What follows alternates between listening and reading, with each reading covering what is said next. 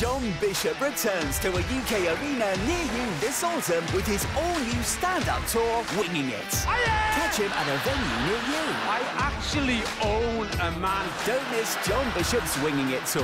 I can't ask what the row's about because it sure wasn't listening in the first place. Catch him while you can. There's nothing affects your self-esteem more than trying to tell somebody off who's bigger than you.